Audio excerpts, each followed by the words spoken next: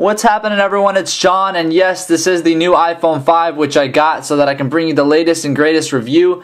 But even better than the iPhone 5 is the Black Friday survival guide which is going to prepare you for Black Friday and is just in time for it.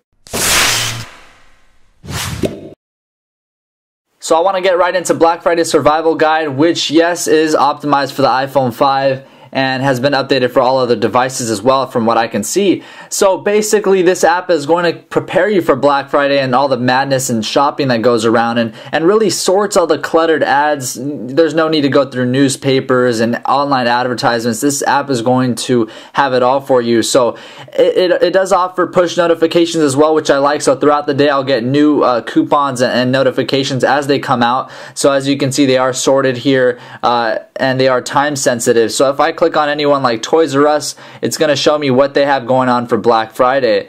Uh, so that's the uh, time sensitive form. But if I just want to go into stores, I'm currently in Lowe's, so I'm let's just use Lowe's for an example here. Uh, it'll show you the items that are on sale for Black Friday. So it says that the uh, sale begins on the 22nd, and I can add that to my shopping list or share the product. I'll show you the shopping list in a little bit. I just want to show you the categories that they currently have right now, so I can go right into uh, Radio Shack and see what they've got going on.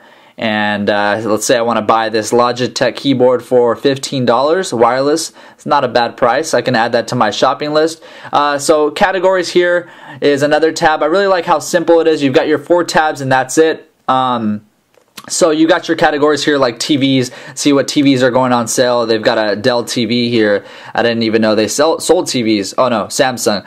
Uh, but it is sold uh, at, at, Dell. Um, but so if I want to add that, I can add that to my shopping list as well. Now when I go over to my shopping list, I've got all the uh, different items that I want to buy for Black Friday and uh, I can go ahead and share that off by email. So I definitely recommend everyone check out Black Friday Survival Guide. It's free and it's going to give you the latest news on Black Friday and it's just in time for that. If you enjoyed this video, please hit that like button down below because it really does help me out. Subscribe up above so you're notified of my newer videos and comment down below. Alright, catch you later.